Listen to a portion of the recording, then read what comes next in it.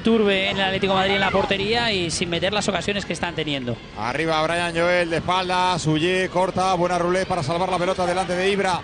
Aparece en la izquierda Marc, Marc para, para Xavi Simons, que la pisa, Oh. gambetea, qué espectáculo, pica la bola, balón arriba, gol, gol, gol, gol de Víctor. Qué escándalo. jugadón de Xavi Simons.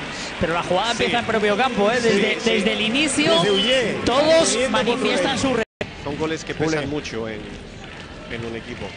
Sí, Para la porque segunda parte. Dentro de- del estilo de- del Barça, ahora mismo empezar por delante permite o obliga al Atlético de Madrid a ir y eso puede generar espacios en el toque y llegar siempre en superioridad ya a campo contrario. Ahí aparece Xavi Simons, la pelota para Marc. Marc juega hacia la derecha, venía con todo y con fuerza para llevársela. Balón para Xavi Simons, corta bien la bola, quiere salir, ahí está Hugo.